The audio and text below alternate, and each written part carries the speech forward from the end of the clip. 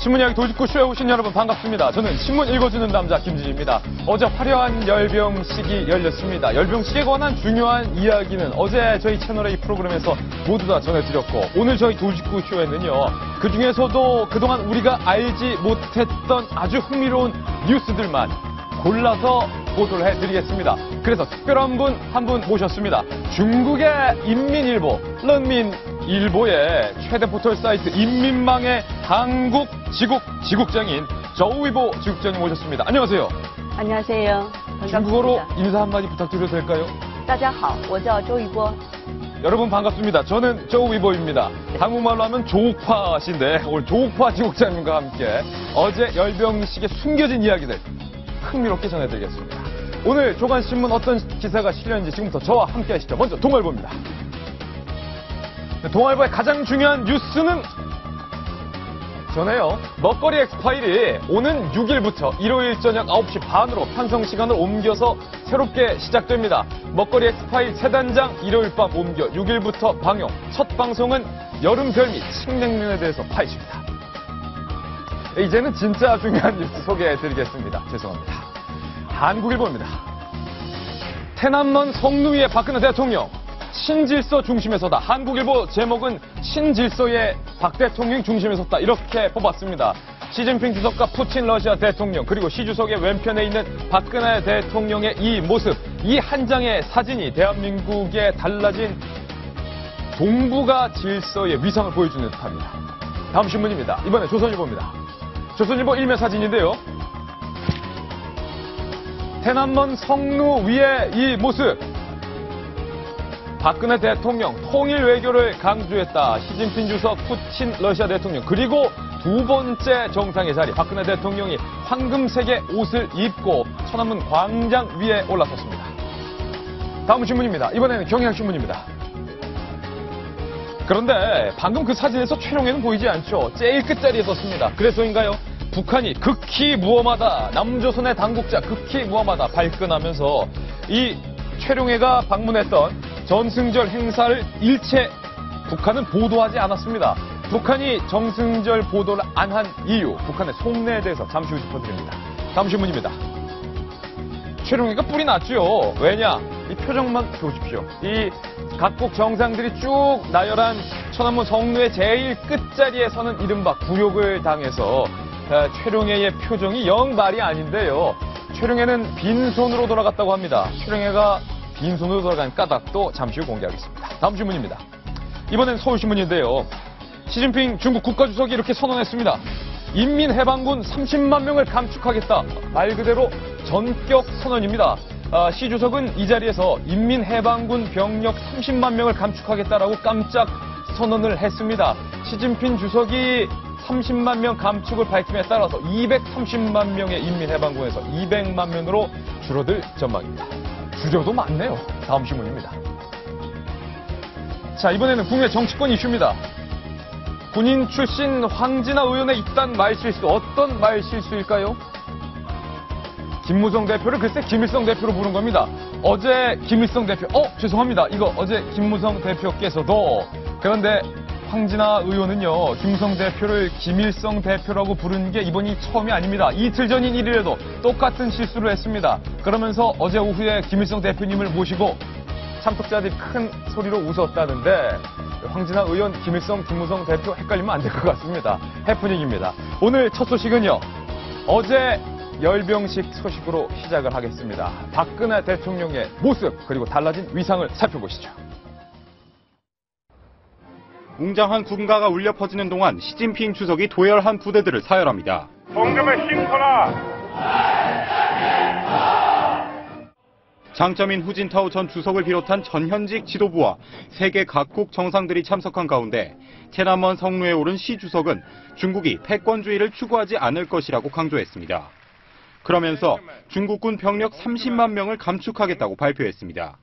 中国都永远不称霸， 永远不搞扩张。中国将裁减军队员额三十万。 모병제를 택하고 있는 중국의 병력은 약 230만 명으로 세계 최대 규모입니다. 중국의 군사력 확대를 우려하는 국제사회의 시선을 의식해 평화 메시지를 보내는 한편 앞으로 군의 현대화, 첨단화를 추구하겠다는 것으로 풀이됩니다. 正义必胜， 和平必胜，人民必胜。 전체 병력의 12% 정도를 감축하겠다고 선언했지만 사상 최대의 열병식을 통해 군사력을 과시한 중국. 미국과의 신형 대국 관계 구축을 목표로 한 자신감 넘치는 행보가 어디까지 이어질지 주목됩니다. 채널A 뉴스 정동일입니다. 네, 어제 화려하게 보신 것처럼 열병식이 열렸습니다. 열병식 이면에 있는 숨겨진 이야기. 오늘 돌직구쇼에서 이모저모 준비했습니다. 저희가 만든 첫 번째 돌직구 신문을 확인하시죠. 첫 번째는 선글라스 박근혜. 어, 이 황금색 옷. 어, 중국 국민들이 황금색을 참 좋아합니다. 황제의 상징, 부의 상징. 중국의 사람들이 참 좋아하는 황금색 복을 입고 멋있게 선글라스를 낀 박근혜 대통령.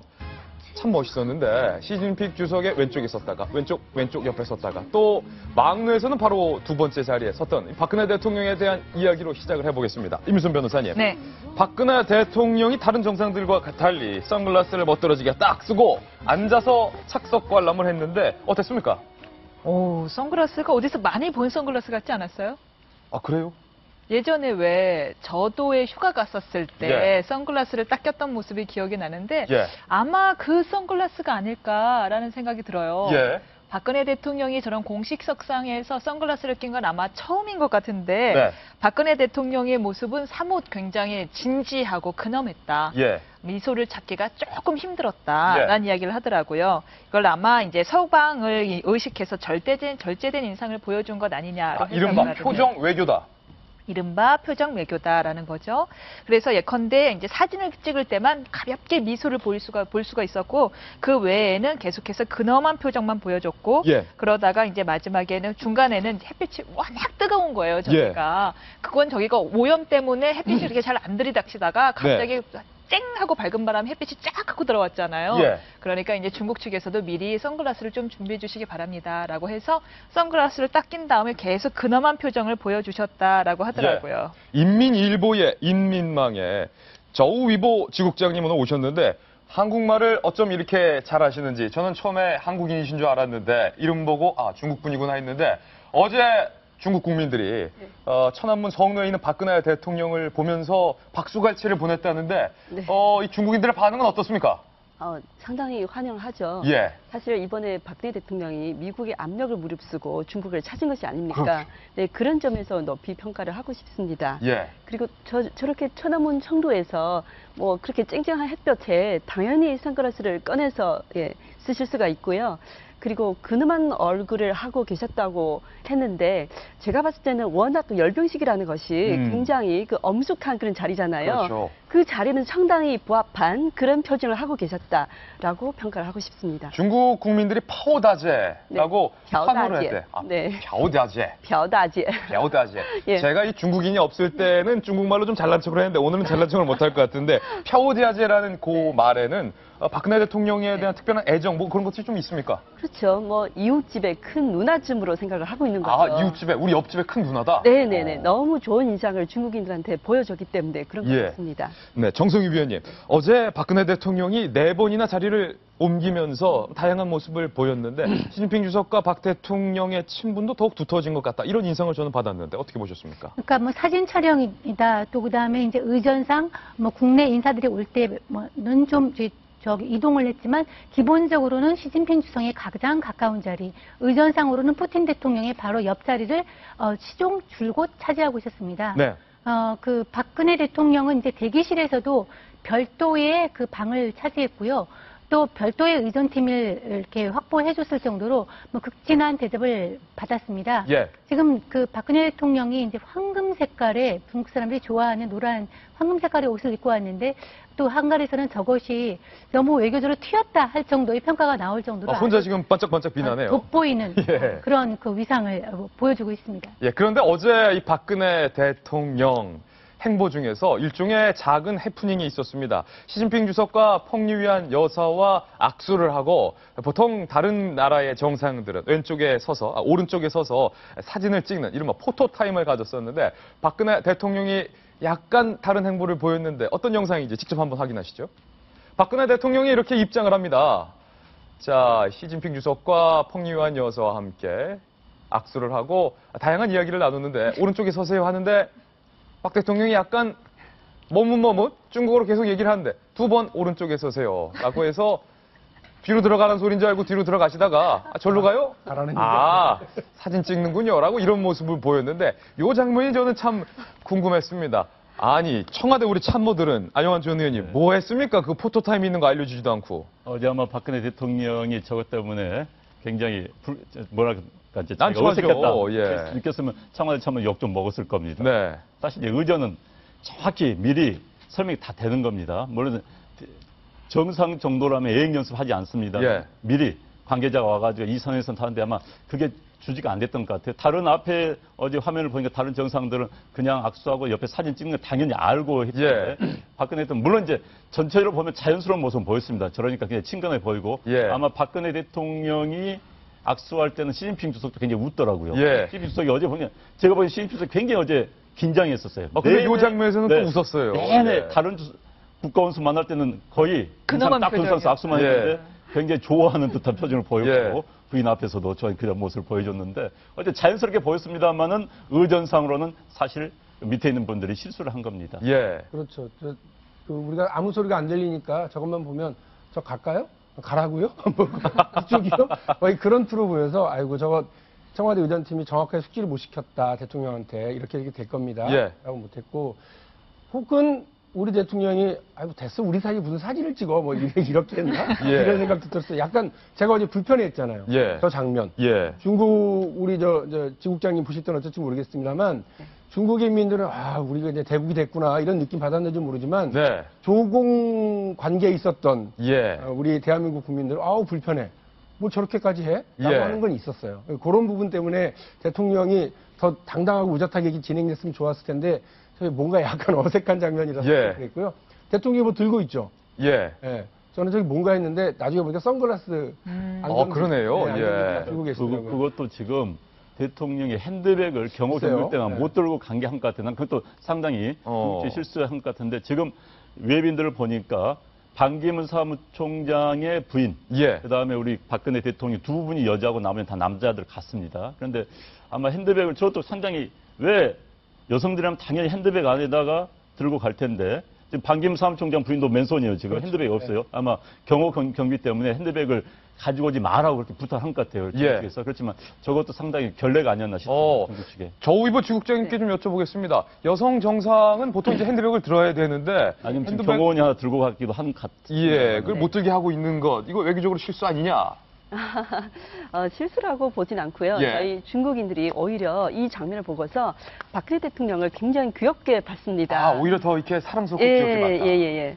그 장면을 보고서 네티즌들이 실시간으로 인터넷에 댓글을 많이 올렸거든요. 뭐라고 대충 데- 댓글 달았나요 내용들? 중국어로는 멍이라는 표현을 많이 예. 쓰더라고요. 멍이라고 하는 것은 어, 정말 귀엽 고 아, 귀엽다. 큐트하다라는 어. 그런 생각이었거든요. 예. 그래서 뭐 외교적인 자리에서 저런 실수하신 모습을 한번 보여주시는 것도 예. 나쁘지는 않다고 생각을 합니다. 워낙 한중 양국 간에 좋기 때문에. 어, 지금 네. 시진핑 주석 표정을 예. 저희가 지금 다시 한번 보면은 네. 긴장되죠. 시진핑 네. 주석도 이 열병식 치르느라 인상이 굳었었는데 네, 네. 우리 박근혜 대통령이 일단 오니까 반가워서 미소 짓다가 우리 박 대통령이 살짝 좀 우왕좌왕하는 거 보고 네, 네. 아, 이 좀 귀엽다. 아유 좀 어떻게 이럴까. 이런 멍이라고 한다고요? 예. 네, 중국인들은 화한 거의 다 좋게. 봤습니다. 예. 네, 네. 저도 한번 여쭙고 싶은 게 있는데 우리가 저걸 보면서 격세지감 이야기를 많이 꺼냈잖아요. 언제 우리가 이렇게 북한이랑 한국의 위치가 달라졌느냐. 중국이랑 저토록 가까워지고 중국이 우리를 이렇게까지 극진하게 대접하는 거에 대해서 다들 막 감격하고 우리가 이렇게 달라졌다고 기뻐했는데 예. 어제 열병식을 보고 느낀 결, 느낌은 와 우리가 우리 기간 우리가 이렇게 달라졌구나 하면서 기뻐할 동안 예. 중국은 날라다녔구나. 음. 정말 훨씬 많이 달라졌고 자신들의 예. 격세지감을 우리보다 10배, 3배를 더 늦게, 10배, 30배를 더 느끼겠구나 싶었는데요. 저 열병식을 보면서 중국인으로서 네. 가슴이 벅찼나요? 어떻나요? 우리도 이렇게 그렇죠. 달라진 걸 느끼는데. 네, 중국인으로서 굉장히 그 자부심과 민족의 긍지를 느낄 수 있는 음. 그런 민족의 큰 잔치라고 봐야죠. 예, 선글라스를 쓰고 열병식에 참석한 박근혜 대통령의 이야기 저희가 전해드렸고요. 두 번째 숨겨진 이야기 바로 이어집니다. 숨겨진 이야기라기보다는 숨겨진 최롱해 뭐 이렇게 봐야 될 것 같습니다. 최롱해의 표정이 영 찝찝한 표정이었다. 왜냐? 지금 보시는 것처럼 저 많은 국가 원수급 정상들 중에 제일 끝자리, 제일 말석 구석에 앉았기 때문에 표정이 상당히 안 좋았다 이렇게 보는데 그 때문일까요? 안영환 전 의원님. 북한이 어제 최룡해의 북한 방문, 아 중국 방문 그리고 중국의 열병식 보도를 일치하지 않았습니다. 왜냐하면 화면을 찍으면 박근혜 대통령 옷- 모습이 나올 수밖에 없기 때문에 예. 보도를 하지 않았고 딱 한 줄을 했습니다. 최용해가 중국 어, 그 행사에 참석하러 떠났다는 나왔어요. 예. 그 기사는 나오지 않았습니다. 그- 그리고 이제 최용의 자리 문제에 대해서 이야기 찾게 나오는데 저는 최용에 대해서 약간 우리 언론과 다르게 중국적 우대를 해줬다고 봅니다. 중국은 해준 건 해줬다. 왜냐하면요. 최영애는 중, 북한에서 당 서열 6입니다. 예. 6입니다. 그러니까는 최고위급 인사는 아니에요. 1, 2, 3위가 아닙니다. 그래서 3부의 수반이 아닙니다. 그런데 이제 맨 앞줄, 어제 저 연단의 맨 앞줄은 국가 원수급이 앉은 자리예요. 네. 맨 말석이지만 국가 원수급 대우를 해준 겁니다. 그래서 최, 최영 입장에서 본다면 굉장히 대우를 해준 거라고 볼 수밖에 없는 거죠. 예. 단 과거 김일성 주석이 아, 김일성이 54년도, 59년도에 열병식에 참가했을 때는 바로 마오쩌둥 옆자리에 있었던 거에 비하면 격세지감이다. 그러나 그 당시는 국가 주석이 왔었기 때문에 옆자리에 안 섰던 거고 예. 지금 최영현 국가 주석이 아니라 6위의 당사율 6위입니다. 그래서 그런데도 국가 원수급 앞줄에 앉혀줬다는 것만도 중국에서 상당히 배려를 해줬다고 생각해요.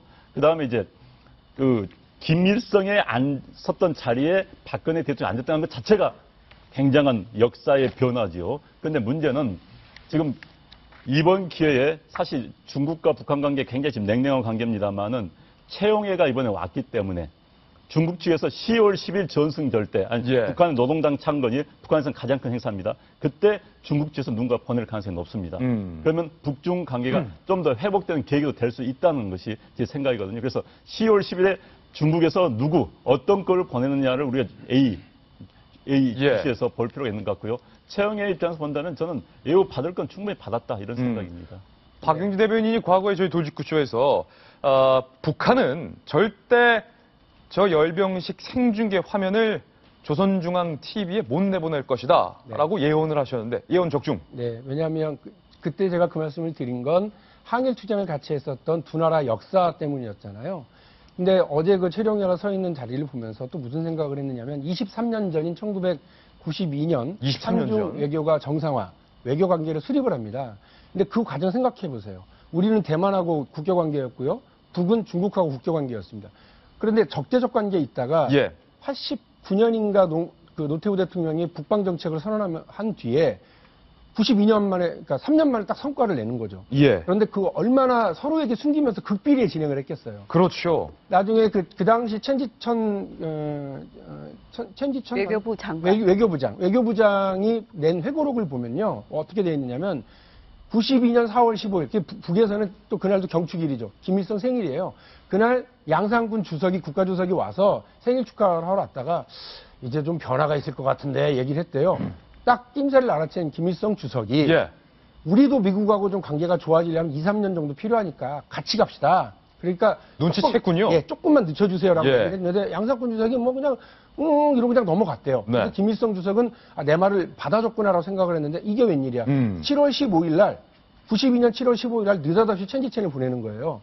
뭔가 할 말이 있다고. 음. 그래서 묘영산 묘향산 별장으로 오라고 그래서 거기서 만났는데 요양산 별장에서 만났는데. 만났는데 오자마자 천지천이 딱 인사하자마자 꺼내서 낭독한 게 뭐냐면 국가주석에 그 우리 이제 대한민국하고 정, 그 외교를 맺는다. 국교를 정상화한다. 네, 이 얘기를 하니까 얼굴이 하얘져가지고 아무 말도 안 하고 있다가 그러면 중국은 중국대로, 예. 우리는 우리대로 자주 노선 갑, 갑시다. 이렇게 얘기하고 15분 만에 밥도 안 먹여서 보내버렸다는 거예요. 어, 북한이. 예, 그래서 자기는 북에 가면 늘 환대받고 밥도 같이 먹고 그랬는데 밥도 못 먹고 나오는 최악의 냉대를 받았다. 예. 서로 그렇게 충격이 컸던 거죠. 근데 23년이 지나서는 그 빨치산 투쟁을 같이 했고 동북 항일전에 예. 같이 했었던 최연의 아들인 최룡해는 저쪽 끝에 끝자리 말썽. 물론 물론 그래도 우대한 거다라고 얘기하시지만 예. 대한민국 대통령 바로 옆에 이 상황을 보면 한중 관계의 23년이 얼마나 크게 어. 발전해 왔는지를 볼수 있는 거죠. 예.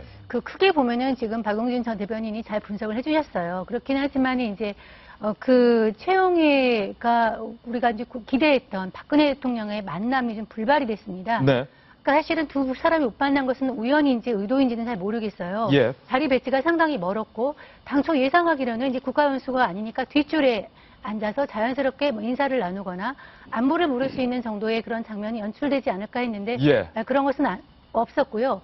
어, 그래서 그 둘이 불- 아, 만나진 못했지만 아마 최용해가 저 자리에 앉아서 많은 생각을 하고 정말 만감이 교차되는 느낌을 가지고 머릿속이 굉장히 복잡했을 복잡했 거예요. 그리고 이제 예. 돌아갔을 겁니다. 그래서 돌아가서 어, 최용해가 자신이 본 것, 느낀 것, 그 달라진 어떤 그 한중 관계, 또 북한 저기 중국의 달라진 어떤 음. 모습, 대륙 굴기의 모습, 달라 뭐 경제 발전 상 이런 것을 보고서 아마 김정은한테 예. 어떤 말을 전, 저, 전달해 저는 궁금한데요. 어, 제대로 전달해서 어, 김정은이 어, 떤큰 시각을 가지고 음. 어, 그 남북 관계에 다시 임할 수 있도록 제대로 전달하는 그 역할을 했으면 저는 좋겠습니다. 그런데 지금 어제 예. 음, 그 화면이 정상들이 연단하는 화면 다시 보여줬으면 좋겠는데 네. 어제 전 한국사의 큰 틀의 변화를 느꼈어요. 뭐냐면 한반도는 대륙 세력과 해양 세력이 중간에 있는 세력입니다. 해양 세력은 미국과 일본을 상징하게 되고 대륙 세력은 러시아와 중국이죠. 그런데 한국은 그동안 해양 세력의 틀 속에서 발전해 왔었어요. 그런데 지금 러시아 정상, 중국 정상 사이에 한국이 있다는 겁니다. 예. 한국이 대륙세 사이에 드디어 서게 된 거예요. 음. 그동안 우리는 우리는 분단이라는 이유 때문에 섬 아닌 섬 나라가 돼 있었습니다. 또 본의 아닌 해양 세력, 해양 세력이 포함되어 있었는데 물론 지금 이 상황에서 우리가 뭐 대륙 해양 따진다는 건 별 의미는 없겠지만 큰 역사의 틀에서 본다면 한국의 정상이 대륙의 정상대 틀에 섰다. 예. 대륙 국가의 복원이 아닌가라는 느낌을 줄 수가 있고 전 세계인들이 그렇게 볼 가능성이 높다는 생각이 들었어요. 그래서 예. 어제 박근혜 대통령이 계속 앉아 있었다.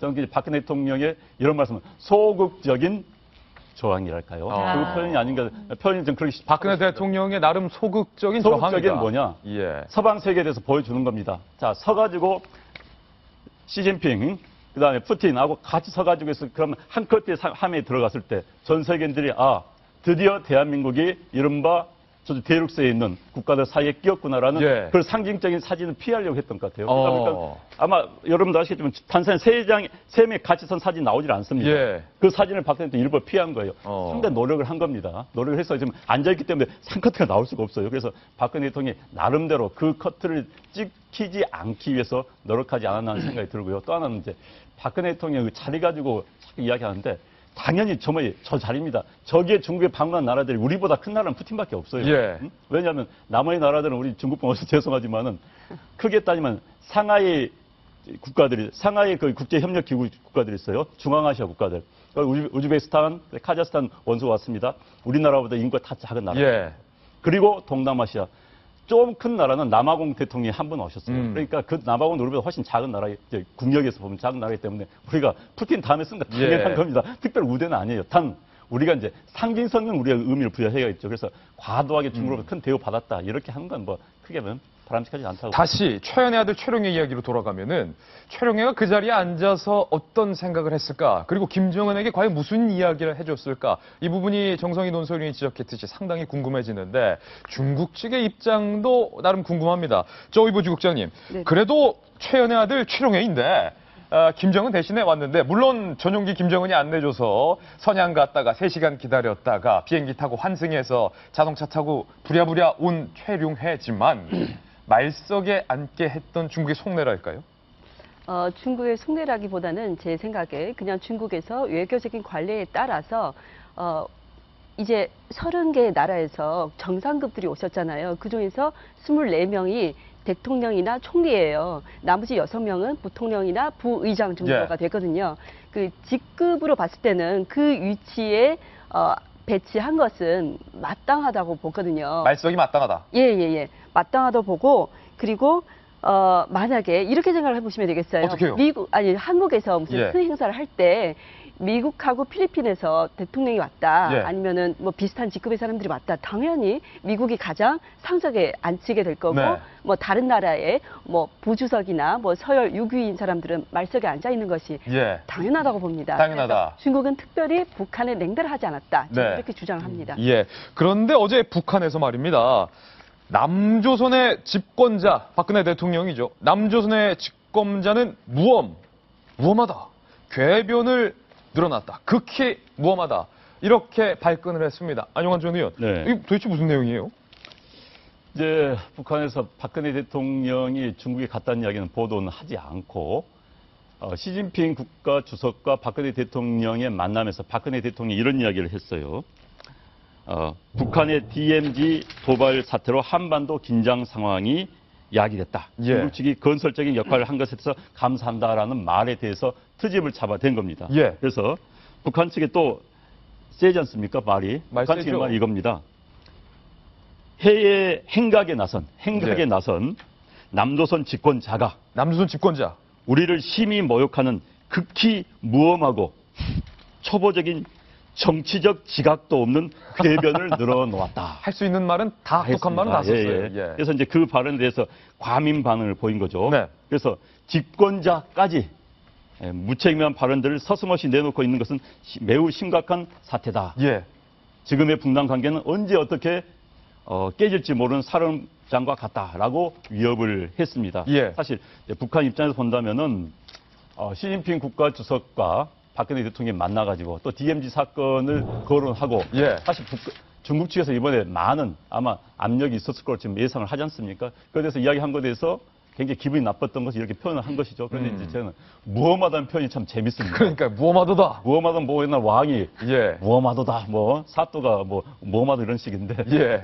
북한식 표현이 굉장히 익숙지 않은 표현을 쓰고 있고 네. 그런데 굉장히 이제 그 북한식의 표현이자 북한식의 저항, 예. 북한식의 신경질을 보여줬다. 그런데 음. 이제 결국은 아마 앞서 말했지만 북한이 10월 10일 이른바 노동당 창건일 때 무슨 일을 할지가 지금 진짜 관심사인데 그때 미사일을 쏠지 말 건지 예. 그것으로 비춰볼 그것으로 앞으로 이제 남북 관계, 동북아 관계가 어떻게 갈 걸지를 아, 볼 수 있을 것 같습니다. 북한의 보도를 저도 지금 몇 년째 취재 때문에 챙겨 보는데 아, 안영환 전 의원 방금 말했듯이 무엄하도다 내 이놈 무엄하다라는 표현은 또 이례적입니다. 어떻습니까? 제가 이 무엄하다라는 기사를 접했을 때가 예. 이제 저녁으로 닭갈비를 먹고 있었을 텐데요. 예. 닭갈비를 먹고 있다가 무엄하다라는 기사를 탁 쳤고 너무 재밌어갖고 친구한테 얘기를 했어요. 예. 북한이 이런 조평통이 이런 발언을 했대더라. 닭갈비에서 닭 볶아주던 사람도 웃더라고요. 네. 아, 닭 볶아준 사람 무섭다. 빵 터지는 거예요. 예. 무엄하다라는 표현에 대해서. 이거는 스스로들이 지금 왕조 시대를 살고 있다는 거를 자인하는 것 같기도 하고요. 아마 근데 이제 정말 불편한 것은 우리한테 불편한 게 아니라 중국한테 불편한 마음이 꽤 클 거예요. 음, 북한 입장에서는. 북한 입장에서는 차마 중국에게 무엄하도다 했다가는 이제 큰 혼줄이 날 테니까 차마 못하고 예. 이제 그 불편함을 우리 쪽으로 표현해 우리 쪽으로 돌려서 표현한 것 같습니다. 혈맹이라고 부릴 정도로 가까운 중국이 음. 우리랑 더 가까운 모습 보이니 얼마나 심정이 불편하겠습니까?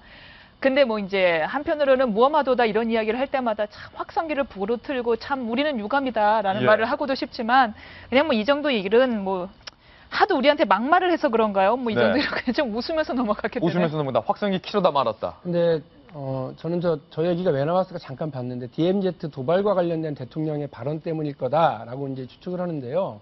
뭐 그랬을 수도 제가 이제 전체 뭐 인터뷰를 안 봤으니까요. 그런데 사실 북이 제일 걱정하고 자극받은 건 시진핑 주석하고 한반도 통일 문제에 대해서 심도 깊은 논의를 나눴다고 하는 우리 정부의 발표 때문이었 을 거다라는 생각이 있습니다. 더군다나 시진핑 주석과 박근혜 대통령 두 사람이 네. 한민족에 의한 평화 통일을 지지한다. 예, 예. 거기에 북은 되게 긴장하고 초조해 있을 거라고 봐요. 음.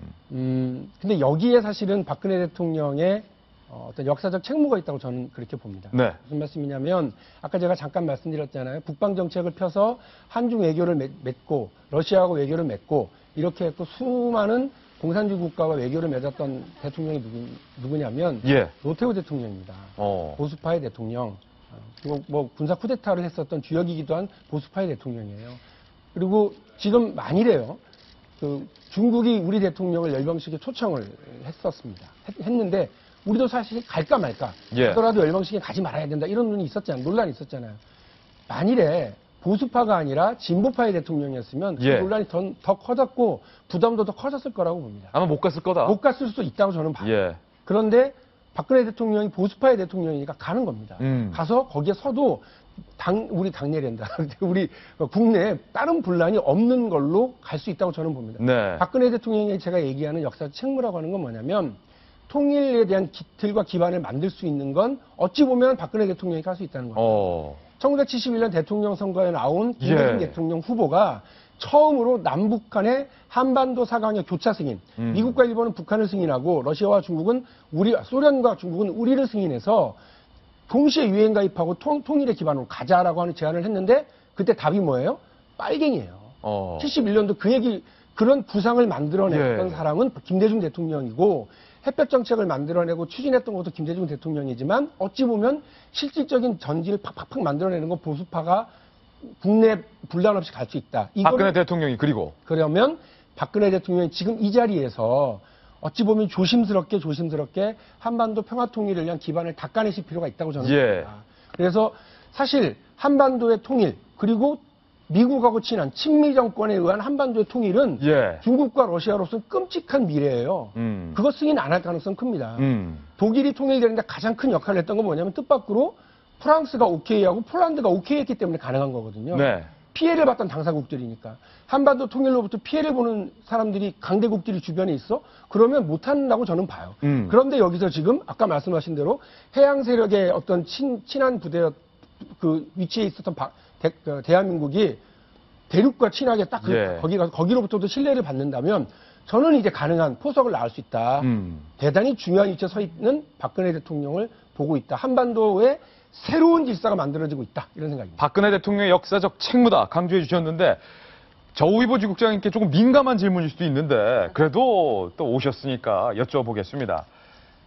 북한의 유사시에 다르게 해석하면 한반도의 유사시에 시진핑 주석은 한민족에 의한 평화적 통일을 지지한다라고 박근혜, 박근혜 대통령과 이야기를 나눴는데 사실은 가장 걱정하고 우려되는 건 이른바 북쪽이 유사시에 이 중국의 인민군이 북한에 근접해서 이른바 북한을 접수하는 건 아니냐라는 두려움과 걱정이 사실은 우리 국민들에게 꽤 있는데 어떻습니까? 중국 쪽 언론과 중국 측 입장에서는. 어, 저희 중국 정부에서는 일단은 한반도의 평화적 통일을 원합니다. 예. 어떤 상황에서든 무력이 아닌 대화와 협상으로 어, 이 국면을 타파를 하게 만들 거거든요. 그래서 진심으로 한반도의 평화를 기원을 하고 예. 저런 일이 생기지 않았으면 좋겠죠. 음. 만약에 유사시에는 예. 어떻게 행동을 해야 되는지는 예. 어, 저는 이렇게 판단합니다. 어떻게 해요? 모든 나라의 정책은 자신의 국익에서 출발을 합니다. 예. 박근혜 대통령도 이번에 방중을 한 목적은 대한민국을 더 잘 먹이고 잘 살리기 위해서 그렇죠. 이게 세계적으로 더 위상을 높이기 위해서 가신 거잖아요. 그래서 중국도 그때 상황 판단을 해가지고 중국한테 최선의 선택을 하게 될 어. 것이라고 생각을 합니다. 뭔가 지금 암시적인 얘기들이 있어요. 맞아, 맞아. 그러니까 이제 언론인이시기 때문에 예. 중국 정부 입장을 얘기. 대변할 수 입장은 아니기 때문에 뭐 말씀하기 어려울 것 같습니다. 그런데 아주 중요한 얘기, 국익이라는 진짜 중요한 얘기. 예. 중국은 그 급변 사태 쓰면 급변 사태라는 것은 국익이 크게 첨예하게 대립하는 그런 상황입니다. 그러면 국익에 따라갈 수밖에 없는 거고. 그러면 북한에 대한 중국의 궁극적인 국익은 뭐냐? 근데 그 국익을 우리가 박근혜 대통령이 시집 말할 때 이제는 설명해 나가야 되는 거예요. 음. 뭐냐? 통일 대한민국이 중국의 국익에 전혀 훼손되지 않는다. 예. 통일 대한민국만이 동북아시아 평화 안정을 가져올 수 있고 중국의 결제, 경제 발전을 더 도울 수 있고 예. 통일 대한민국만이 중국이 좀더 평화롭게 사는 게 도움이 될 수 있다는 것을 설득해 나갔는데 저는 그 과정에 있어서 이번 그 중국 방문이 굉장히 중요했다고 봅니다. 왜냐하면 박근혜 대통령이 이번에 시, 시진핑 주석을 만났을 때 남북 통일 문제에 관해서 심도 있게 논의했다라는 것이 우리 청와대 발표예요. 예. 근데 중국 측에서는 그 발표문이 빠졌습니다. 중국 측에서는 굉장히 민감한 문제인 거죠. 아까 말씀 나왔지만 북한을 자극할 수 있기 때문에 그러나 앞으로 우리 정부 또 우리 뭐 국민들 이 사실 한반도의 통일 문제에 가장 큰 영향을 미치는 것은 중국입니다. 예. 그 다음에 미국 정도 되겠죠. 그래서 중국을 어떻게 설득해 나가는가 굉장히 중요한 문제고 음. 중국 측에 과거에 콜 독일 수상이 러시아를 방문해 가지고 그 당시 골르바초프에게 엄청난 뒷- 돈 줬습니다. 예. 돈 주고 러시아에게 했습니다. 자, 독일 통일되더라도 러시아의 국익은 전혀 상관이 없다. 오히려 러시아의 개방에 우리가 돕겠다 라고 이야기하고 러시아 오케이를 받아냈습니다. 그게 가장 중요했거든요. 음. 그 다음에 이제 프랑스의 오케이가 그 다음에 중요했던 거죠. 그런데 그것을 독일은 해냈습니다. 만약 우리도 통일 상황이 앞으로 계속 중국의 지도자 등 중국의 이런 언론인들에게 계속 우리 설득해 나가야 됩니다. 예. 통일이 중국의 국익에 도움된다는 것을 매우 중요한 일에 시발점이 올랐었다고 봐야죠. 네. 아까 박용진 어, 전 대변인이 얘기한 보수파의 대통령이기 때문에 어, 북- 어, 중국과에 가서 이런 행보를 하는 것이 문제가 없었다. 사실 옛- 그런 식으로 따지자면은 일리가 있다고 생각합니다. 예를 들어 닉슨과 닉슨 대통령 마오쩌둥이 그 수교를 할 때 닉슨 케네디 대통령이라면 불가능했을 예. 거라는 얘기가 있죠. 어, 그건 일리가 있다고 생각하는데 지금 말한 대로 한반도의 그 통일 관련 논의나 비핵화에 대해서 이번에 상당히 진전이 있었느냐? 그럼 저는 그렇게 생각은 하지 않거든요.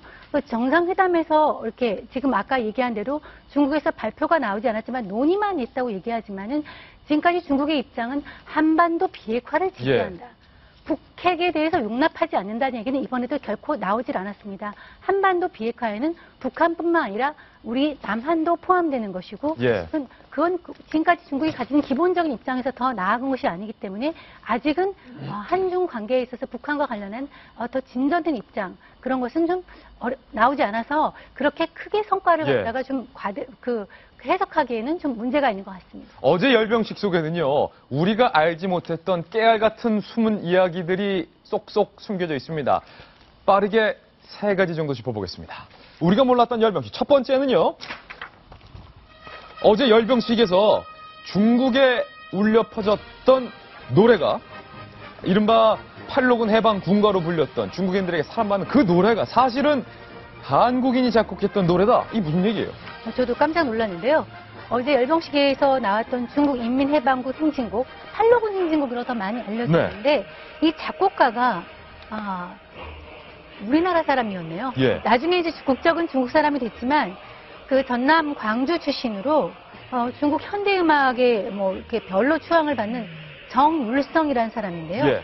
어, 이 사람은 원래 이제 광주시에서 태어나서 이번에 영화 암살로 유명했던 그 김원봉이 조직한 의열단 아, 김원봉의 의열단. 예, 멤버로 들어가서 중국에서 활동을 하다가 어, 그렇군요. 이 사람은 이제 활동을 한 게 뭐 이렇게 저격을 하고 이런 것이 아니라 노래로 예. 노래로 이제 활동을 했습니다.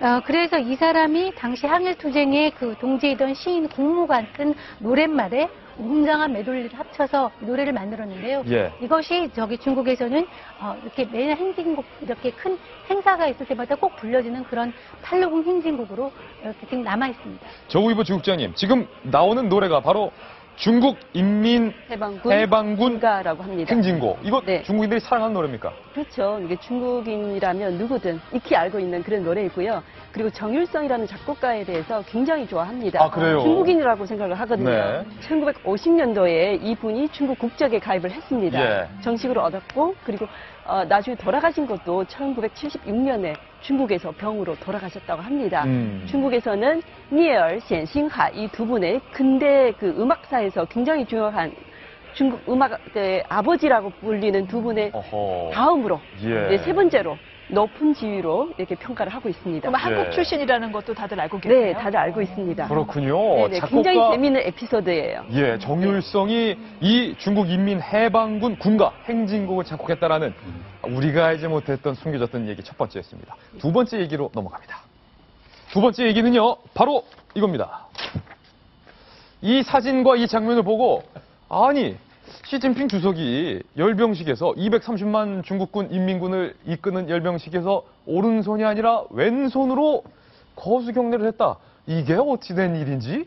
이런 의문점이 지금 일고 있습니다. 일각에서는 시진핑 주석이 너무 긴장을 한 나머지 이렇게 되는 걸 이렇게 착각했다라는 얘기도 있고 아니다. 그것은 햇빛을 가리기 위해서 이렇게 한 거다.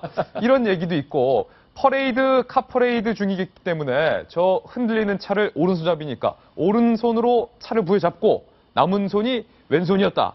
혹은 해방 전쟁 때 부상당했던 오른팔을 부상당했던 중국 인민 해방군을 배려하기 위해서 왼손으로 경례했다. 여러 가지 지금 얘기가 나오고 있어서 이에 대한 진실이 과연 무엇인지 오늘 조우이보 국장님에게 물어봐야 될 것 같은데 그 해답은 잠시 후에 듣고요. 자, 지금 저 모습인데, 어, 군사 전문가, 안용환 전 의원께서 때, 어떻습니까? 이게, 아, 저도 지금 자세히 보니까 경례 같네요. 왜냐하면 이걸 이제 햇빛을 가린다거나 이 손을 흔든다면 지금 일각에서는 손을 흔드는 장면이 각도에 따라서 이렇게 잡혔다. 그리고 이렇게 흔드는 게 각도에 그렇게 잡혔다 하는데 주기적으로 계속 왼손을 이렇게 하고 있어요. 주기적으로. 예. 그래서 그러니까 앞쪽에서 이제 우리 사열한다 보면은 사열의 지휘관이 이제 탱크보다 탱크가 중요한 게뭐 주선님께 받들어 총 이거 하는 겁니다. 그럼 예. 그때 이제 딱 올리거든요. 근데 계속 그 각도예요. 그 시간대예요. 계속 그림이 자연스럽게 그냥 손 흔든 게 아니라 그래서 저는 저도 좀 의아해합니다. 저게 손은 그러니까 오른손으로 차를 잡고 있기 때문에 흔들리지 않기 위해서 그래서 이제 왼손으로 자연스럽게 이렇게 올려 그냥 격려하듯이 올렸다는 느낌도 들지만은 뭐 실수는 하지 않고 어찌됐든 어색했지만은 뭐 계속 똑같이 일관된 행동입니다. 네. 일관된 행동이기 때문에 아 인사를 한데 본인은 그런데 거수 경례는 아니고 뭐 솔직히 상대국의 국가 주소를 제가 평할 생각이 없기 때문에 네. 예, 아마 이런 식으로 손을 화답했다. 화답하는 수준, 수준이 아니었을까 그런 저 생각이 장면이 어, 그러니까 사열을 쭉 하고 예, 돌아서 천안문 성로로 다시 오는 과정에서 있더라고요. 이제 쭉 봤거든요. 예, 채널 A를 통해서 어, 쭉 이렇게 돌아오는 과정에서 예, 계속 반복적으로.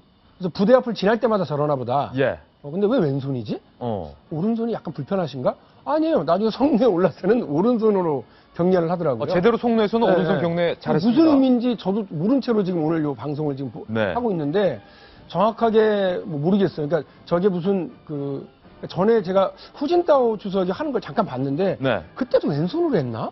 헷갈릴 어, 정도로 헷갈리다. 무슨 의미가 있는 것 같다 이 생각만 하고 있고 지금 우리 지국장님 말씀만 기다리고 있습니다. 자, 이제 조의보 주국장님, 런민일보에서는 이에 대해서 어떤 해답을 내놨습니까? 어, 지금 해외에서뿐만 아니라 국내에서도 많은 사람들이 왜 왼손으로 어. 했냐 어. 논란이 일고 있거든요. 아, 그래요? 그래서 오죽하면 인민일보의 뉴스 앱 있잖아요. 예. 신문은 아침 새벽에 발행하는 것이기 때문에 못하고 어제 늦은 밤에 뉴스 앱에 그런 뉴스가 나왔어요. 인민일보에? 인민일보의 뉴스 앱에 이런 기사가 나왔습니다. 어, 시진핑 주석이 왼손으로 예. 이렇게 손을 흔들었을 뿐이지 경례를 하는 것이 아니다. 음. 그래서 모든 그런 추측이나 의혹을 다 예. 불식시켜 버렸어요. 어떠세요, 유민선 변호사님? 런민일보의 해, 해명에 대해서. 어, 저는 일리 있어 보여요. 일리 있어 보인다. 네, 저도 이제 처음에는 헷갈렸거든요. 저게 예. 뭔가? 근데 세 번을 반복되잖아요. 세 번째 보면은 손이 요쯤에서 멈춰 있어요. 아, 어깨에서 멈췄다. 어깨에서 멈춰 있는 걸로 봐서 이제 저분은 아마 그냥 화답의 의미였을 거다라는 네. 정도고. 근데 이제 저는 군대를 안 갔다 와서 모르겠어요. 정말 무식한 예. 질문을 하나 해야 될 것 같은데 하세요. 왼손으로 겨수 격리하면 실례인 건가요? 어, 그렇죠. 거수경에는 네. 그거는 오른손으로. 안. 아, 그건 참 그래요? 아니, 왼손잡이도 끝에. 있을 수 있는데 왜 굳이 아니, 아니, 이렇게, 이렇게 딱 눈썹 끝에. 장난할 때. 이게 딱 이렇게 돼. 이게 장난할 때는 이렇게 그렇지. 하- 하는 거지. 이거는 아니에요. 아쉬워? 뭐 이럴 때 그지? 지난번에 아니 김무성 대표가 그 왼손잡이에 대한 역차별이 아닌가 김무성 싶어서. 대표가 예. 예. 저기 미국 방문했을 때 우리 참전 미군 용사들이 오른팔 잘린 분들이 왼손으로 격려를 한 거예요. 어. 그래서 김무성 대표가 그 자리에서 왼손으로 이렇게 격려를 했습니다. 네. 그 때문에 이제 또 국내 일부 언론에서 무리한 거 아니냐 저렇게 지적을 했는데 김무성 대표는 너무 그분들이 감사한 마음에 어. 그분들이 왼손으로 오른팔이 없어서 왼손으로 격려했기 때문에 예. 나도 왼손 했다 그런 이야기를 하긴 했었거든요. 그런데 어찌됐든 시진핑 주석은 그런데 어제 시진핑 주석이 계속 긴장, 굉장히 긴장됐다는 느낌을 네. 받았어요. 얼굴 표정이 완전히 굳어 있었어요, 계속. 그래서 저는 이제 외빈 때문이 아니라 오른쪽에 와 있던 장점인 추석 때문에 하지 않았나 그런 생각이 들었어요. 장점인 추석이 사실 어제 안 나올 계획이었는데 전임자가 앉아 있으니까. 장점인 현재 주석을 좀 구속하는 이야기 많이 있어요. 네. 감옥에 넣는다는 이야기가 많이 있기 때문에 중국에서는 지금 그 시진핑 주석이 지금 중국에서 이제 이른바 부패 전쟁하면서 엄청나게 많은 사람을 집어넣습니다. 예. 그런데 그 상당수가 장점인 주석의 휘하 사람들이에요. 그러다 보니까 장점인 주석이 안 나오려고 일부러 장점인 주석이 나왔다. 건장을 위해서. 그런 이야기 때문에 장점인 주석과 그 옆에 후진따오 전임자들에 대한 그 긴장. 예. 그게 아니었나 싶다. 얼굴이 계속 굳어 있어요, 보면. 예. 그래서, 물론 뜨거워서도 그랬겠지만, 그래서 어제 아무튼 자연스럽지 못했는데, 마지막 자연스럽지 못한 모습이 왼쪽 경계로 나타나지 않았나. 예. 그런 생각이 듭니다. 안 의원님은 저 앞에 서면 긴장 안 하시겠어요? 그런데 저기서 국가 체도자, 13억의 지도자라면 웃어야 됩니다. 네. 13억의 지도자 전 세계 방송되고 있다면 좀 웃으면서 자연스러운 뭐, 대국다운 모습을 보여줬는데,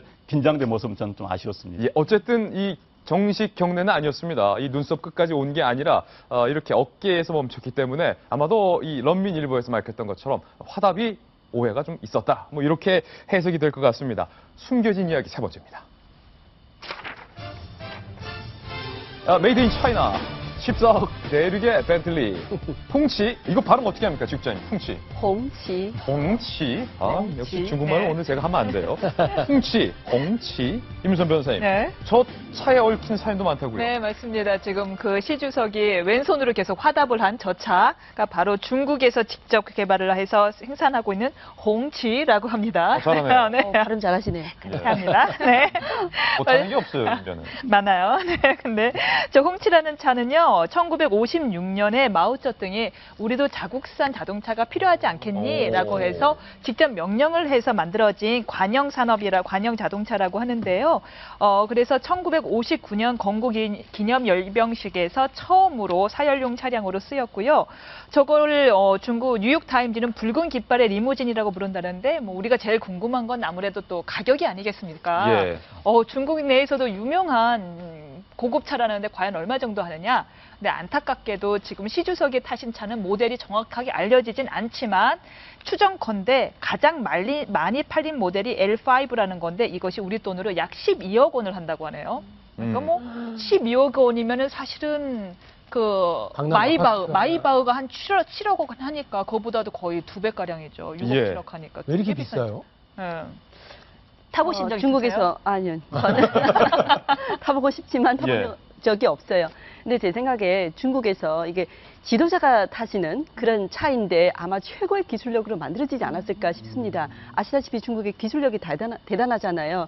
위성 발사에서부터 해가지고 뭐 이런 자동차 정도는 최고의 기술력으로 만들 수는 있습니다. 예. 당연히 비쌀 수밖에 없죠. 음. 이 일반 시중에서도 팔아요? 어, 이 정도는 아마 시중에서 판매하진 않을 겁니다. 네. 어제 있었던 중국 열병식의 이모저모 숨겨진 이야기에 대해서 종합적으로 이야기를 전해봤습니다. 오늘 먼 곳에서 저희 도지코 쇼를 위해 출연해 주셨던 인민일보 인민망의 한국 지국장, 미모의 지국장, 니흠 피아오리앙, 저우이보 지국장님께 감사의 말씀드립니다. 고맙습니다. 감사합니다. 네. 제가 중국말을 하면 안 되는데 자꾸 하네요. 이번에는 이슈를 확 바꿔보겠습니다. 국내 정치 이슈에 주목을 해보겠습니다. 어제 국회에서 인터넷을 검색하는 장면이 포착이 됐는데 검색어가 조건 만남이었습니다. 누구에 관한 이야기일지 돌직구 신문을 통해 확인하시죠.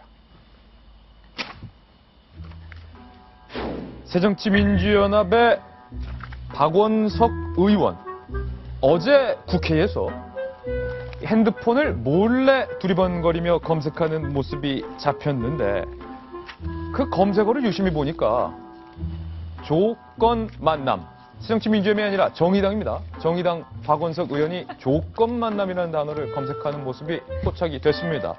이 도대체 정의당의 박원석 국회의원은 왜 조건 만남을 검색한 건가요?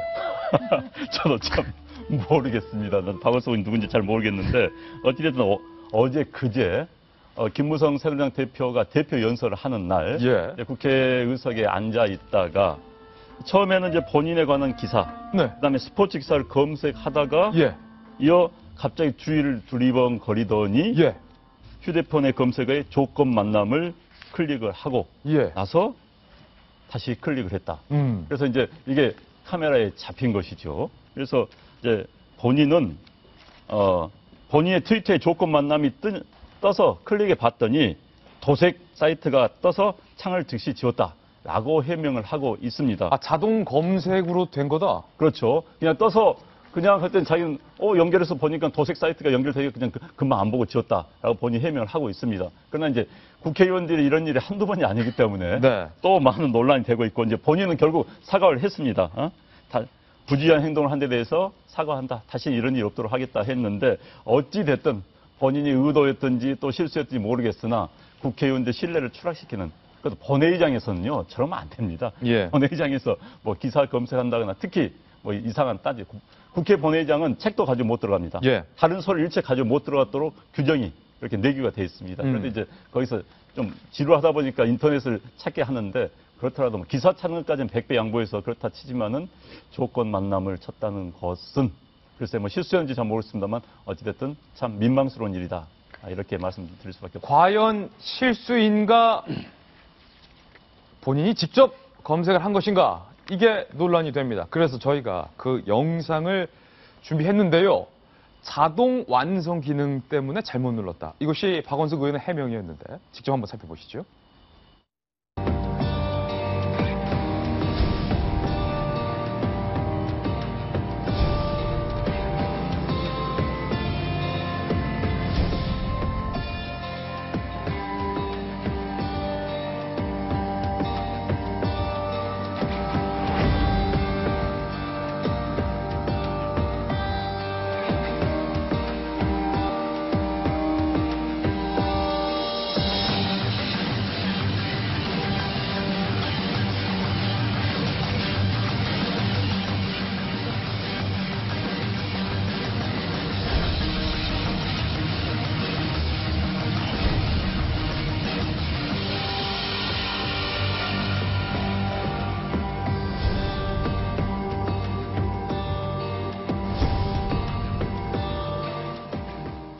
자, 객관적이고 균형감 있는 팩트만을 평생 취재해온 동아일보 논설위원 정성희 위원께 여쭤봐야겠습니다. 이것은 자동 완성 기능에 의해서 나도 모르게 눌러진 겁니까? 아니면 조건 만남이라고 박원석 의원이 직접 입력을 한 겁니까? 시청자 여러분 지금 보셨잖아요. 저도 어처구니가 없어가지고 주변을 흘깃거리면서 이제 집어넣던데요. 예, 제 느낌은 그렇습니다. 한 번, 한두 번 해본 솜씨가 아니네요. 예. 왜냐하면은 사실 조건 만남이라는 게 옛날에 원조 교제죠. 예. 원조 교제를 이제 대상을 찾을 때 하는데 요즘은 그 용어가 조건 만남으로 이제 바뀌, 음. 바뀐 모양입니다. 그것도 한글이 전용화돼서 그런지 모르겠지만 사실은 일반 사람들이 조건 만남이라는 걸 이렇게 떠올리기가 쉽지가 않아요. 네. 근데 이제 주변, 주변을 흘끗거리면서 자연스럽게 넣는 걸로 봐서 사실 조건 만남이라는 용어를 저도 지금 오늘 처음 쓰거든요. 조금 일반인들에게는 예. 신경합니다. 그러니까 이제 저, 그리고 저렇게 그 이렇게 능숙하게 쳐놓는 걸 봐서 제 느낌으로는 한두 번 쳐본 솜씨는 아닙니다. 네. 예, 그런데 이제 저, 저 저런 거는 평소에 해보다가 그좀 이렇게 지루했던 거죠. 어저께 그 김무성 대표 그저께 연설이 그러니까 자연스럽게 평소의 행동이 좀 자연스럽게 본회의장에 예. 나타난 것이 아닌가 저는 그렇게 생각합니다. 적어도 박원석 의원의 해명처럼 자동 완성 기능 때문에 실수로 누른 것은 적어도 아니다. 그 이상이면 그 이상이다라는 분석인데 판단은 아마 시청자 여러분들께서도 잘 하실 것 같습니다. 조건 저 보세요. 조건 만 남 만나 만나 만남 박윤진 전 대변인 예, 예. 이거 어떻게 봐야 됩니까? 글쎄요. 이게 이런 경우를 무엄하다고 해야 되나. 아 이게 무엄하다. 네, 그러니까 여당 대표가 그 이 나라가 나갈 방향에 대해서 밤 새벽 2시까지 고쳤다면서요? 그 예. 여론을. 그래서 읽고 있는데 그 조건 만남으로 대- 그 응답을 하신다는 건 좀 거시기 하네요. 박원석 의원이 어떤 사람이냐면 참여연대 사무처장을 했던가 그럴 거예요. 아, 그렇습니까? 활동가고요. 그래서 시민단체에서 오래도록 활동하면서 여러 명망을 쌓았고 활동을 했고요. 2008년에 있었던 광우병 촛불 시위를 주도했었던 또 그런 활약을 했었던 사람이라서 예. 정부가 수백 가지 내렸던 사람이죠. 조계사로 피신했다가 나중에 자진 출두해서 이제 옥고도 치르고 그랬던 분입니다. 그러다가 통합진보당 상당히 결합을 해서요. 어, 거기서 이제 비례대표를 받았고 그리고 이제 분, 분당시에 이제 정의당으로 이제 분당해서 어, 지금 활동을 하고 있는 어, 의원인데 그게 어찌 보면 진보정당의 의원이 시민단체 출신의 진보정당 의원이 조건 만남이라니 이건 뭐지? 하고 많은 국민들이 좀 실망할 것 같은데요. 예. 이 국회 뭐 아까 우리 안영원 의원님 말씀하셨습니다만 국회에서 본회의장에서 이렇게 이런 망신살 뻗칠 일들이 역대 많았어요. 근데 하나같이 국회 망신의 공통점은 변명이 더 웃기다는 거예요. 네. 그러니까 박원석 그 의원도 뭐 이거는 자동 검색이었다. 뭐 내, 내 이름을 검색하다가 나온 일이었다. 그리고 그 전에 이제 누드 사진 보다가 딱 걸린 신재철 의원 예. 새누리당입니다. 예, 이분 같은 경우는 어, 뭐 무슨 청소년 어, 누드 사이트가 어떻게 성인 인증 없이 무제한 살포되는지 예. 이게 가능한 건가 하면서 이제 해봤다는 거 아니겠어요? 예. 그래서 사람들이 왜 웃었는지 모르겠지만 크게 웃었고요. 또 어떤 경우는 그 저 부인이 아닌데 본회의장에서 여보 사랑해 뭐 이런 거 주고받다가 나중에 기자들이 그걸 찍어가지고 밝혀지니까 아, 연애 상담을 해준 거였다. 그 새정치민주연합 정호준 의원. 그런가요? 아, 예. 기억은 안 났습니다. 예. 하여간 이건 변명이 더 웃기는데 이런 국회 망신. 예. 이민선 변호사님. 네. 어, 이게 어떻습니까? 심재철 의원이 어, 누드 사진을 검색한 거랑 이건 박원석 의원이 조건 만남을 검색한 것은 그래도 좀 조건 만남이 더 심하지 않나. 그렇죠. 왜냐면 누드 사진을 보는 것 자체가 불법은 아니지만 조건 만남은 불법일 수가 있으니까요. 근데 이제 저는 하려고 검색했을 거란 생각은 차마 안 해요. 그래요. 설마요. 설마 그 예. 국회 본회의장에서요. 맞아요. 근데 이제 아까 전 박 대변인님이 말씀하신 소개에 조금 첨언을 하자면은 네. 이제 정의당이고 그래서 지금 후원금이 후원금이 많이 들어와서 후원금 순위가 제가 알기로는 1위인가 그래요. 아, 그렇습니까? 네, 후원금을 아주 많이 받고 있습니다. 1억 5천을 꽉 채워서 받고 있어요. 그리고 전에 통진당 압수수색 때 적극적으로 이제 공무를 집행을 방해한 혐의로 벌금 천만 원을 선고받아서 확정까지 됐었던 분입니다. 아, 통진당 압수수색 정 네. 몸으로 막았던 분. 몸으로 막아서 그랬던 분인데 이제 아무튼 행동 파세요. 굉장한 행동 파세인데 아마 이제 당시 조건 만남을 좀 뿌리 뽑을 모- 마음으로 이 조건 만남이란 무엇이냐 하는 마음으로 이제 검색을 했는데 네. 제가 유심히 저 장면을 이렇게 저 조건만을 치는 장면을 봤는데 자 보세요. 조건만을 치는 순간부터 갑자기 손바닥으로 화면을 가리기 시작을 합니다. 예. 그리고 몸으로도 또 가리기 시작을 합니다. 그리고 다리를 뭔가 벌벌 떨기 시작을 합니다. 예. 굉장히 긴장된 태도예요. 누군가에게 들켜선 안 되는 창피한 모습을 하는데 제가 유심히 요 주변 지금 우리 스태프분들 카메라 감독님들 표정을 봤는데 다 웃고 계신 거예요. 예. 뭐 어떤 표정이었냐면 나도 한때 저랬었지 하는 듯한 예? 예. 뭔가 부끄러운 일을 할 때 딱 나도 저런 태도를 보이지라는 예. 공감하는 듯한 미소를 보이더라고요. 그러니까 저거는 누가 보더라도 우연히 간 게 아니라 스스로 부끄러운 행동인 걸 알면서도 한 거다. 예. 이제 다만 조건 만나면 정말 하시고 싶었던 건 아니고 뭔지 어. 궁금하셨겠죠. 예. 그러니까 임순 변호사 말은 우리 카메라 감독님들이 조건 만나 검색한 게 아니라 그럼요. 다리 떠는 그 모습이 그러니까 뭔가 오해를 나타나는 살만한 증상이다. 뭔가 엄마 몰래 뭘 할 때막 이렇게, 이렇게 숨어서 할 때 그걸 이제 예. 공감을 하셨기에 더 웃으신 게 아닌가 싶더라고요. 어, 그리고 보니까 아까 네. 그 박원석 의원의 장면 중에 저는 모르 놓쳤는데 임순 변호사 말대로 다리 떠는 그런 모습도 있네요. 예. 한번 보시죠. 한번 좀 하- 밑에 자막을 빼면 보일 것 같은데. 예. 보통 사람들이 이렇게 다리를 떨거나 이렇게 의미 없는 짓을 계속 할 때에는 뭔가 불안하고 심리적으로 저 이렇게 이, 이해되지 않는 거죠. 그러니까 그 뭔가 이렇게 불안함을 드러내는 S 아무렇지 않은 척할 예, 때죠. 예. 예. 예. 어, 자신이 기사 검색을 하다가 다리를 떠는 그런 모습들, 네, 그리고 두리번거리는 가리고요. 모습들.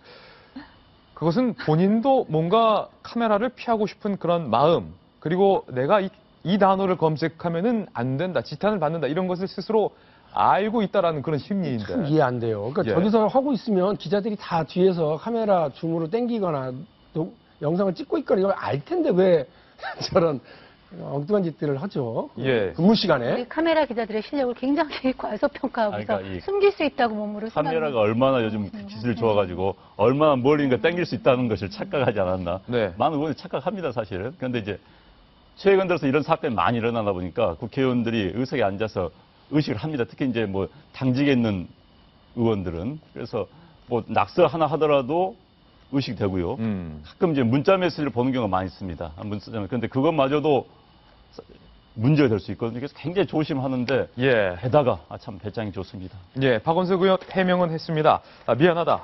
잘못했다라고 사과는 했다라는 소식도 전해드립니다. 다음 돌직구 신문으로 이동합니다.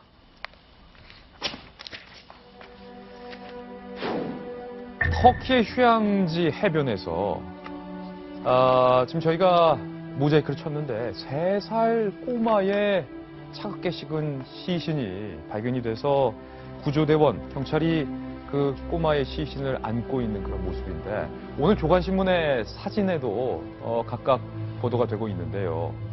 이 세 살 꼬마는 왜 터키 해변 차가운 시신으로 발견이 된 걸까? 정성 의원님. 어, 이 아기 이름이 아일린 쿠르디란 세살짜리 아기인데요. 어, 이 시리아, 어, 시리아 어, 저 국민입니다. 그 엄마, 아빠와 형과 함께 그 남, 그 배를 타고서 시리아를 탈출해서 그 터키를 지나서 그리스, 그리스로 탈출을 하다가 배가 해변에서 난파를 했답니다. 아이고. 예, 그래서 23명이 자그마한 배에 그 타고 있었는데요. 예. 두 명만 살았고 나머지 21명이 전부 죽었는데요. 어, 저 아버지도 살았답니다. 예. 부인과 형이 죽었고 아버지가 이제 신원을 확인해서 이제 그 알려진 사연인데요. 그 이제 난파가 된 다음에 시신이 해변으로 떠밀려와서 저 카메라에 포착이 됐고요. 예. 어, 이 문제를 계기로 해서 지금 끔찍하게 그 거의 사륙 그, 어, 뭐이라고 할 수 있을 정도로 많은 사람이 사망하고 있는 난민 사태에 대해서 어, 국제사회에서 굉장한 관심이 일고 있습니다. 이슬람 극단주의 세력들 IS를 피해서 시리아 난민들이 유럽 각국으로 난민 신청을 하고 있는데 아, 캐나다, 영국 등에서는 사실은 이 난민을 받아줄 수 없다 라는 아, 그런 어떤 정치적인 상황, 각국의 입장 때문에 결국 난민들이 바다 위를 떠돌다가 이 세 살 쿠르다 군. 쿠르디 군이 저렇게 주검으로 발견이 된 건데. 지금 지중해는요, 작년에 난민들이 3,500명이 익사해 죽었습니다. 예. 작년 한 해. 그런데 이제 올해는 지금 더 수가 늘어나고 있어요. 저 지금 우리 쿠르디 군 같은 경우는 시리아 북부에서 쿠르드 민병대와 IS의 방사에 전쟁 치러하다 보니까는 빠져나온 겁니다. 그래서 이제 터키로는 육로를 갔다가 그리스만 들어가면은 살 수가 있는 겁니다. 그리스는 유럽은 지금 생긴 조약 때문에 EU 국가 내에 들어가면은 이주가 가능해지거든요. 그래서 이제 그리스에 있는 조그만 섬으로 터키에서 배를 타고 가다가 배, 가 전복돼서 이제 죽었는데 지금 유럽이 난민 때문에 난립니다. 예. 영국 같은 데 아예 못 받겠다. 독일은 쿼터제에서 우리가 16,000원 먼저 받겠다. 국가별 차이가 굉장히 심해서 유럽 국가들 사이에 정리가 안 되는 상황이에요. 그런데 그런 상황에서 이제 우리 쿠르드기 저것 때문에 유럽에서는 파도에 실려간 유럽의 양심 이런 이야기가 많이 나오고 있습니다. 그래서 전- 유럽인들 사이에 예. 다시 한번 난민 문제를 되새기하는 큰 사건입니다. 전 세계에서 지금 애도의 물결이 일고 있죠. 네, 예, 그렇습니다. 지금 저 아이 크루디의 사진을 편집해서 지금 SNS를 통해서 네. 저 아이의 등에 음, 날개를 달고 결국은 엄마 하늘에 계신 엄마의 어, 품으로 날아가는 모습을 그림으로 그려서 지금 SNS를 통해서 애도의 물결이 어, 퍼지고 있다라고 하는데요. 예. 아, 지금 세 살이면 이제 겨우 막 아장아장 걸을 때인데 4년째 계속되고 있는 내전의 비극이 저 아이에게 미쳤다라는 점 그리고 그 아이의 시신이 참 모순적이게도 휴양지로 날아갔다는 점에서 네. 아, 가슴이 아프죠. 가슴이 매우 아픕니다. 예. 네. 그 세계 경제 포럼이 매년 글로벌 리스크를 발표하는데요. 2005년도 글로벌 리스크를 발표한 것 중에 대규모 비자발적인 인구 이동이나 심각한 사회 불안정이 있습니다. 이것이 그 난민 문제가 단순한 그 사회 문제가 아니라 어, 세계적인 글로벌 리스크라는 것이죠. 그것이 지금 유럽에서 이제 가장 심각하게 나타나고 있고요. 왜냐하면 이 어, 난민이 지금 아까 1년에 3,500명이 사망한다고 말씀했죠. 기중에서만 기중에서만 어, 물에 그렇지만. 어, 그렇지만 이 국, 그, 구- 유럽 국, 각국들이 지금 이것 때문에 싸움이 벌이고 있거든요. 더 많이 음. 어, 우리는 못 받겠다, 받겠다 해가지고 지금 국- 어, 유럽 내가 분열된 위기까지 처해 예. 있어서 어, 심각한 문제가 지금 되고 있습니다. 각국의 이 정책 입장도 입장이지만 이 세 살짜리 천진난만한 아이는 도대체 무슨 죄입니까? 안타까운 마음입니다. 광고 보고 휘나르 기사로 돌아옵니다. 잠깐만요. 네, 마지막에 가슴 아픈 소식도 있었는데 그래도 끝은 휘나레는 기분 좋은 소식으로 여러분께 장식을 해드리겠습니다. 오늘의 휘나리 기사입니다. 대한민국, 아, 손흥민. 별명이 삼손이에요, 삼손. 성경 속에 나오는 그 삼손인데 왜 삼손이냐? 어제 세 골 넣었어요. 그래서 세 골을 넣은 손흥민, 그래서 별명이 삼손입니다. 화끈한 해트트릭으로 대한민국 대 라오스, 라오스 대이 대한민국 에, 축구 대표 경기를 8대0 대승. 아, 역시 아시아 최강 한국 축구가, 아, 물론 라오스가 약체입니다. 174위, 174위를 상대로 8골 하면 좀 잔인한 측면도 있지만, 일단은 뭐 이겼으니까 기분 좋은 건 아니에요. 그 라오스 감독이요 저 경기 끝나고 나서 뭐라고 그랬느냐면 한국 선수들 포뮬러 원에 나오는 스포츠 카드처럼 이겼다는 거예요.